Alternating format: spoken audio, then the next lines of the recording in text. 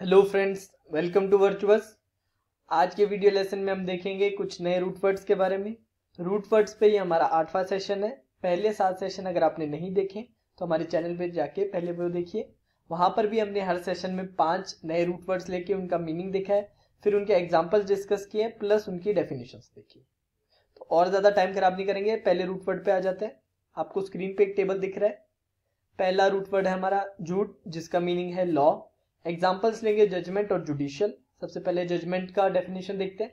A decision of a court of law तो ये law कहाँ से आया है? जज से। ठीक है? सेकेंड रूट वर्ड देखेंगे। लोकू या लोकू। मीनिंग है स्पीक एग्जाम्पल्स लेंगे हम। एलोक्वेंट और लिक्वेशियस एलोक्वेंट का देख लेते हैं meaning speaking beautifully and forcefully तो ये स्पीकिंग का स्पीक कहाँ से आ रहा है? लोक्यू से। ठीक है? वैसे लोकोशिस का भी देख लीजिए वेरी टॉकेटिव मतलब बहुत ज़्यादा बोलने वाला। तो इसमें भी टॉकेटिव स्पीक से आ रहा है तो स्पीक कहाँ से आ रहा है? लोक्यू से। ठीक है? तीसरा रूट वर्ड देखेंगे।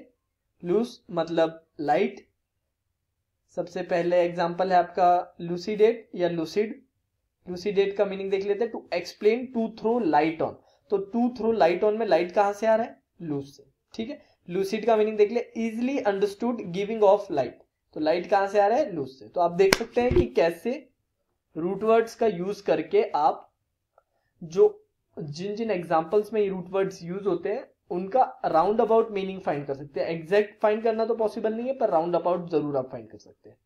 चौथा रूट वर्ड देखिए मैग्ना या मैग्नी मीनिंग है ग्रेट लार्ज एग्जाम्पल्स लेंगे मैग्नीफाई और मैग्निफिसेंट ठीक है? मैग्नीफाई का मतलब मेक लार्जर लार्ज ये कहाँ से आ रहा है? मैग्ना से। ठीक है? मैग्निफिशियंट मतलब ग्रैंड मतलब ग्रेट बड़ा, ये भी कहाँ से आ रहा है? मैग्नस ठीक है?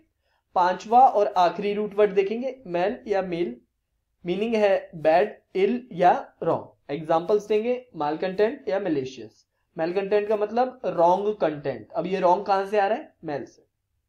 मलेशियस देखते हैं. शोइंग स्ट्रॉन्ग इल विल अब ये जो इल है, ये कहाँ से आ रहा है? मेल से आ रहा है. तो आप देख सकते हैं, यहाँ हमने पाँच रूट वर्ड्स के बारे में डिस्कस किया है, जहाँ पर इनके मीनिंग इनके एग्जाम्पल्स एग्जाम्पल्स की डेफिनेशन और फिर देखा है कैसे रूट वर्ड अगर आपको पता हो तो आप कैसे वर्ड की मीनिंग राउंड अबाउट फाइंड कर सकते हैं। आई होप इस सेशन में मज़ा आया होगा। अगले सेशन में नए पाँच रूट वर्ड लेकर आएँगे। तब तक के लिए धन्यवाद।